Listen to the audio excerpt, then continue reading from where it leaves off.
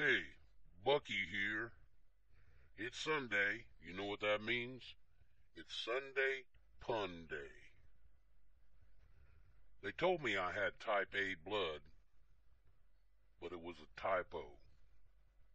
A cartoonist was found dead in his home. Details are sketchy.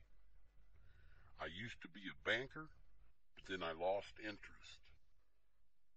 Velcro, what a ripoff. England has no kidney bank, but it does have a liver pool. I tried to catch some fog, but I missed. I changed my iPod's name to Titanic. It's sinking now. I know a guy who's addicted to brake fluid, but he says he can stop any time. I stayed up all night to see where the sun went, and then it dawned on me. I'm reading a book about anti-gravity. I just can't put it down. I did a theatrical performance about puns. It was a play on words. When you get a bladder infection, you know you're in trouble.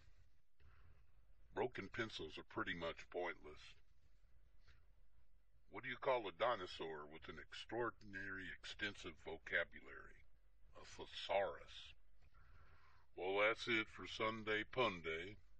See you again next week.